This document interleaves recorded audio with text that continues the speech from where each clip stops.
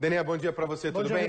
Melhorou ou não? 90%. Vai levando, vai levando. Vamos que nós matamos a De... pau. Daniel, agora me diz uma coisa. A defesa da Glaze, do marido dela e do empresário que é acusado junto nessa história, os três são réus, dizem a mesma coisa que a do presidente Lula. Não tem provas contra a gente, nós não cometemos crime.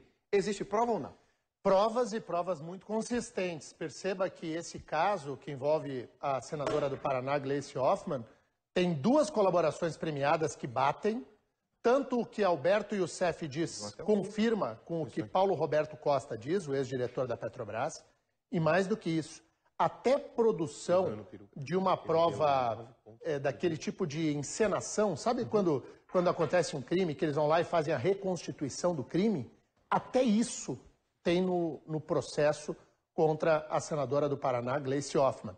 A situação dela é muito delicada.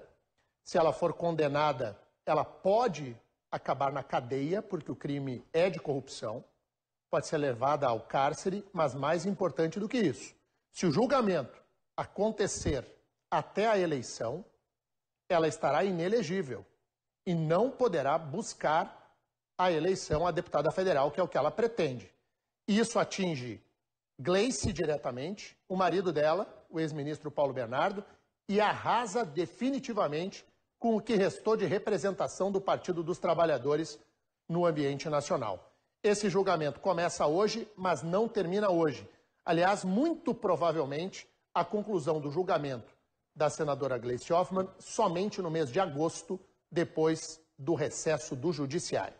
O início, de qualquer forma, esta tarde, na segunda turma do Supremo Tribunal Federal.